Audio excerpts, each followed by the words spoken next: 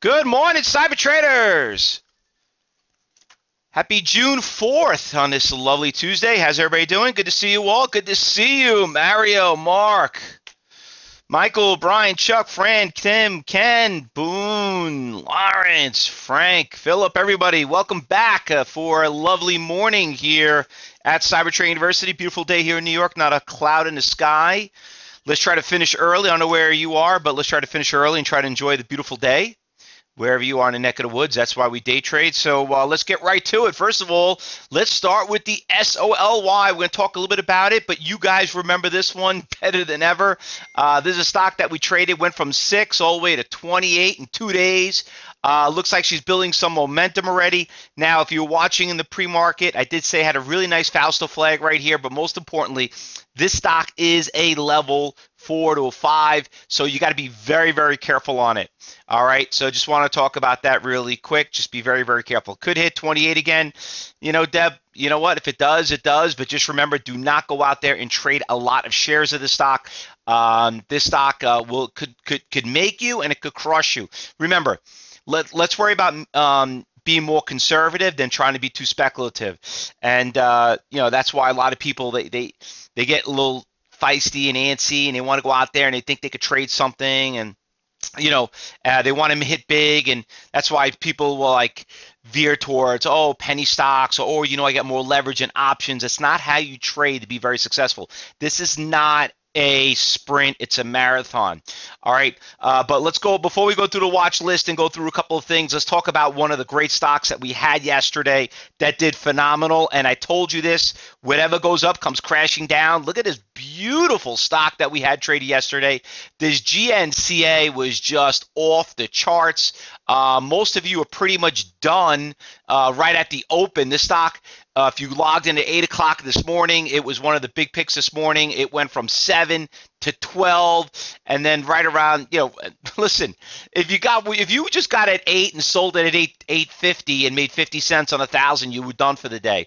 But like i told you whatever comes up comes twice comes down twice as fast and it's right back to where it started. There's your little short squeeze. So uh, listen that's what trading's all about it's strictly momentum and uh, you got to know how to take the money and run. That's what it was all about there. A couple other ones, uh, you know, obviously uh, the gold stocks moved pretty good yesterday. G Nut. Let me bring that up.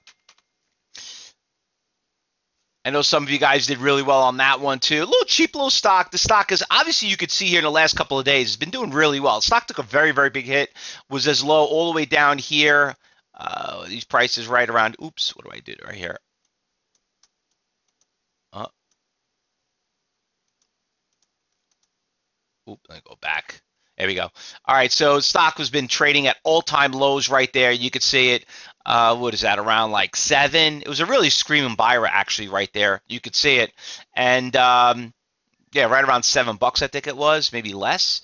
And uh, it's got a nice little push. Starting to back off a little bit now, but you know this stock is uh, how holding pretty well. That one, we some of you guys did pretty well. A little on the slow, slower side for us. And then the AD, uh, AD uh, RO. Just want to bring that one last one up here. That stock was just a great uh, short. That stock just took a big, big hit. Um, surprising, it was not hard to borrow, which is kind of surprising. You know, usually you can't short stocks uh, under five, but some brokers will let you short it. So there we go on that one. All right.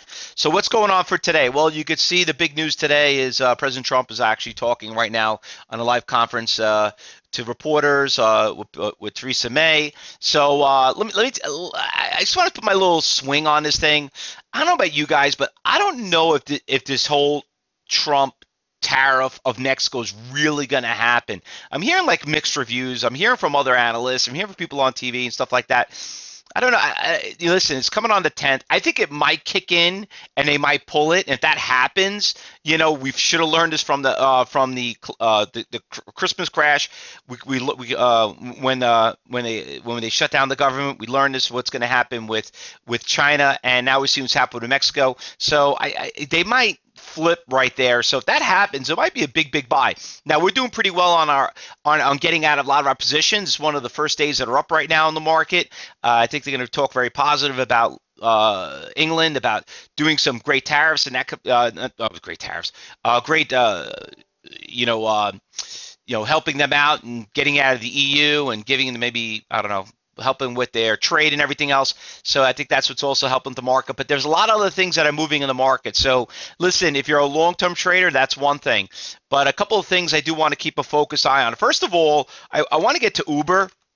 If you guys have been watching Uber lately, I, I went long Uber. All right, it's break. It's starting to break higher highs. Okay, the stock took a big hit, came back down. I've been watching Lyft. All right, but this is something I want to kind of stress very important to you guys. You cannot mix day trading and swing trading. This stock is not a day trade. You day trade this stock, it will destroy you. Okay, um, and, and and you know you know um, when, when it comes to day trading, I mean uh, swing trading, you could you know that's something you could learn how to average up. You start small, you could up your position, you could down your position. People always ask me, do you sell half, this and that? You know what? I will do that with my swing trades. I will not do that with my day trades. Day trades, I hit them hard, take the profit short, and make the take the money run.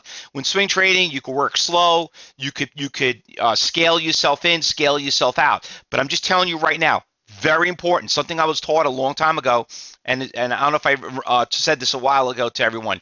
You cannot have a day trading account and a swing trading account with the same brokerage account. You got to have separate accounts because you'll mix and match.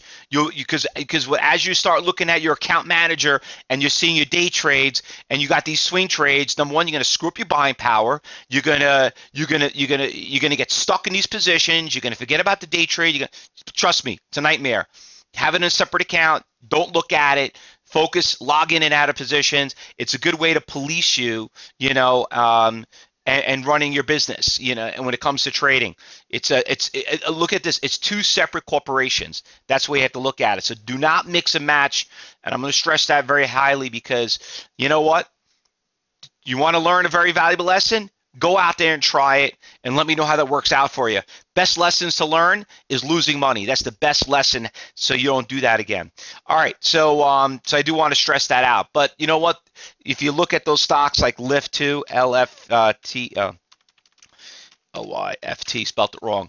It's been actually been breaking higher highs. Stocks was at around 50, starting to move up a little bit. I don't know why Lyft is doing, you know, obviously uh, started off at a higher price, but I don't know. I kind of like the Uber a little bit better. So anyway, maybe Uber is sponsoring uh, the Michael. I don't know. You know what? Maybe Uber's making a lot of money and Lyft to make a lot of money with. Uh, I heard there's like what a quarter million people that are going to be in London right now. Maybe a lot of people take an Uber and not want to take the bus. you know, so uh, could be a lot. You know what?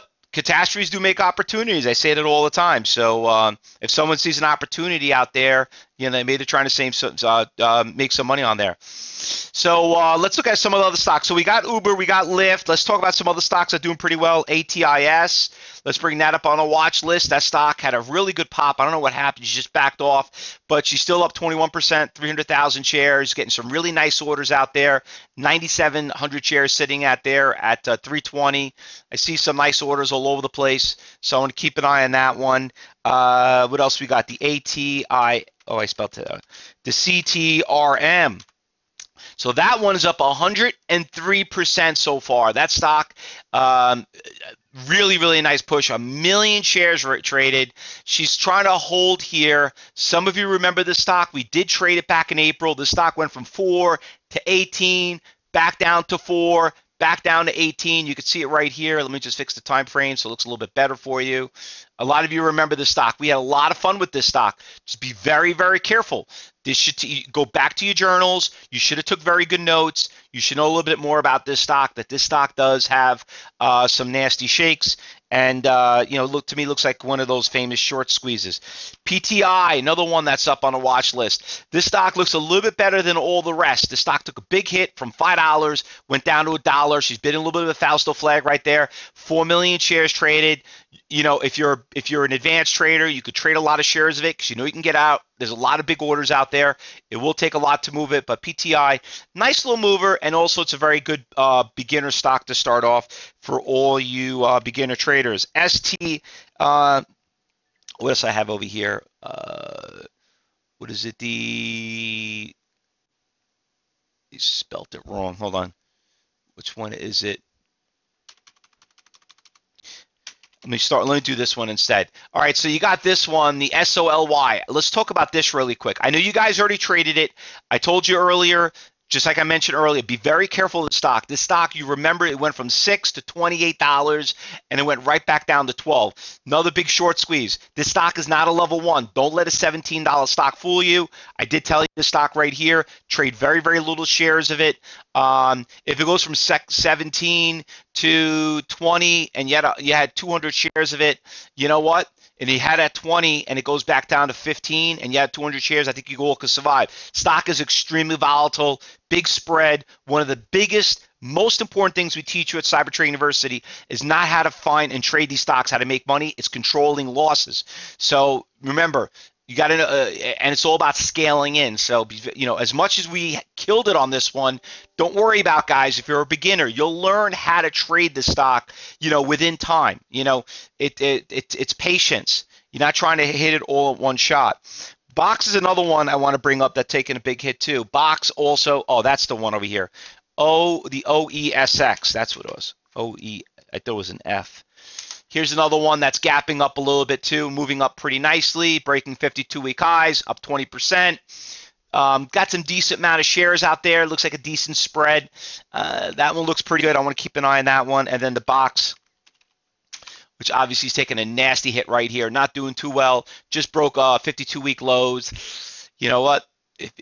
It's starting to come back a little bit, but I don't know about that. Uh, looks it, it, took a big hit from yesterday, but it's coming up a little bit right now this morning. So there's your list. It is Tuesday. It's a fun day. Uh, you know, fun day on Tuesdays, Wednesdays, and Thursdays where we get most of our volatility. Let's go out there and uh, make the best of it. Now, uh, remember, if you're new to Cyber Trade University, we just highly recommend tell you Please do not trade any stocks that we show you. Remember, this is a trading room. It's not a teaching room. You just want to see people make money. You want to see what we're looking at. You're just here to look, listen, and learn. And if this is something that you want to do, which you all feel you can do, then talk to the education advisor and we'll tell you how we can get you started. Uh, but you know what? If it's not for you, guess what? That's also okay too, because 99% of people are uneducated and they learn the hard way. And what that is it? They go out there, they do it on their own, and they figure out and they blow up their account, which I hope it won't be any of us because that's a sad day. All right, guys. Good luck, everyone. Happy trading. Let's make some money. I'll see you back at 2:30.